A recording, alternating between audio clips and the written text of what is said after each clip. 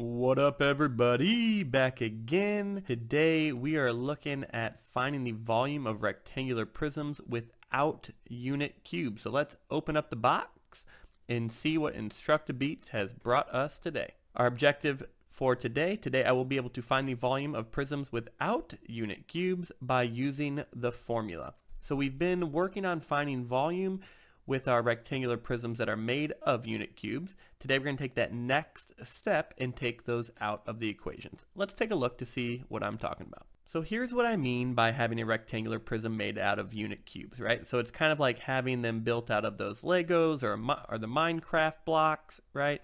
And you can see visually the unit cubes that are making up the rectangular prism. Today we're going to be taking this prism and it's going to look like this. You're not going to see the unit cubes that make it up. So instead of asking ourselves how many unit cubes make up the shape, we're going to be asking ourselves how many unit cubes can we fit inside of this box. We're still finding the volume. It's still the exact same thing, except our rectangular prisms are going to look like this today. Our formula for volume is going to be the exact same thing. We're still going to be finding the area of the base and then multiplying it by how many layers we have. And when we don't have the area of the base, we're going to decompose it into our length and our width and use our area formula to find our area of the base and then multiply it by the height. So we're going to be using both of our formulas, volume equals area of the base times the height, or volume equals length times width times height. Both of them are going to give us the exact same answer. We just have to figure out which formula we need for the question that we're answering. Our steps for finding volume are going to be the exact same thing. We're going to find the area of the base. We're going to find the height or how many layers we have. And then we're going to use the formula to multiply instead of using repeated addition. So here's the I do problem. It's asking us what is the volume of the prism? Or in other words, how many unit cubes do I need to fill this box? Okay, so I need to know the area of the base. Now, I don't know the area of the base because it didn't tell us what that was, okay? But I can use the length and the width. So for this one, I'm going to have to decompose my area of the base into length times width and then multiply it by the height. Here's an awesome way to help you find the length, the width, and the height. I call it finding your peace sign because it kind of looks like a Y, like you're putting your fingers up in the peace sign. What you want to do is find a vertex or where li three lines are meeting, okay? And you want to be able to draw the height off of that or trace the edge of the rectangular prism for the height, the width, and the length all from that same spot. What that's going to help you do is just make sure that you don't get confused about which numbers that you have. So here I have three for my width, so I'm gonna go ahead and put three meters in there, okay? My length is gonna be how long the box is. Now I don't see it right here, but if I look opposite parallel, it tells me eight meters, okay? So I know that my length is going to be eight meters. And then my height right here, again, I don't have the number right here, but if I look opposite parallel, that's four meters, which means this also has to be four meters. So to find the volume, I need to do 8 times 3. That's going to tell me the area of the base. And then I'm going to have four layers of that. So my volume is going to equal 24 meters squared. That's going to be the area of my base times the 4. Okay, so I have four layers of 24. So when I multiply 24 times 4, I get 96 cubic meters. Okay, now before we were using cubic units, right? Because we were trying to figure out how many unit cubes fit inside. Well, the unit for this question is meters, okay? So instead of saying cubic units, we're going to say cubic meters because the meters is our unit. So now that we're doing these pictures without the cubes, we're going to have a unit next to our number to let us know what that number represents. If we just put 3, we could say it was 3 inches, we could say it was 3 gallons, we could say it was 3 miles, okay? So we need to know the unit. So when you write it, we're no longer saying cubic units, we're going to say cubic meters if the unit is meters. If it was feet, we would say cubic feet. If it was inches, we'd say cubic inches, all right? Let's do a we do and practice this a little bit more. So here it says, the prism below has a base that has an area of 24 square feet. What is the volume?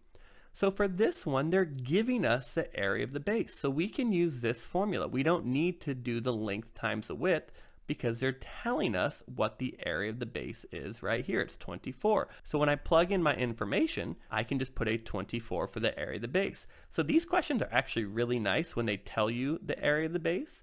Now, if it didn't say the words, the base was 24 square feet, I know this is area because it said square, okay? It was square units, and I know that area is measured in square units because we're trying to cover a two-dimensional shape with squares. So then the picture is also giving me the height right here. So I know my height is 10. So I know one layer has 24 cubes in it, and then I have 10 layers of cubes if I'm trying to fill this box. So if I do 24 times 10, I know that it's going to take me 240 cubic feet to fill this box up. Let's do a you try problem. So for this one, it says how many cubic centimeters is the box?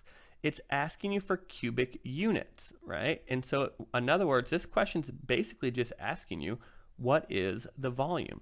You know it has to be volume because the units, centimeters, were cubed. If you're ready to try this one by yourself, go ahead and push pause. If you want to do it with me, that's awesome too. We can do another we do problem. Hopefully you just pushed pause and you're checking your answer right now. So the first thing I want to do, okay, is I want to see, can I find the area of my base?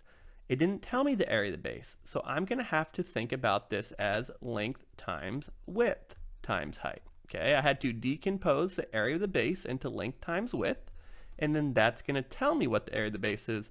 Then I can multiply that by my layers. I'm going to find my peace sign right here at this first front vertex and where I can find the height, I can find the length, and I can find the width all from the same spot. Again, that's not something you have to do. It just helps me stay organized. So my length, okay, I don't have a number right here, but I look opposite parallel. That was 9 centimeters. So my length is going to be 9 centimeters. My width Again, opposite parallel looks like 4, so I'm going to have 4 centimeters. And then I can see that my height opposite parallel was 2, so my height is going to be 2 centimeters. When I multiply that, I'm going to follow my order of operations and go left to right here. So 9 times 4 is 36. I now know the area of my base was 36 square centimeters. And I have two layers of 36. So when I multiply that, I'm going to get 72 cubic centimeters. And I'm going to use the abbreviation for centimeters, okay? I'm running out of room. So our volume for this, if I had to fill it up with cubic centimeters, it would take me 72 cubic centimeters to fill this box up. That is my volume for this rectangular prism. Hopefully you can see that this is really an easy step if you understand what volume is. Going back to our lesson where we discovered the volume formula, we don't just want you to memorize it and use it. We want you to use it and then be able to picture what you're doing as you're using it. It's not good math just for you to memorize stuff. We want you to understand what's happening as you're using the formula. And if you do, these questions are pretty easy. All right. Thank you so much for checking us out today. We really appreciate the time you're spending watching these Instructabeat lessons. If you haven't done so already, please like and subscribe. We'd love to have you follow us on Facebook, Twitter, and Instagram. Again, thank you so much. Check out our volume song, Instructabeats, out.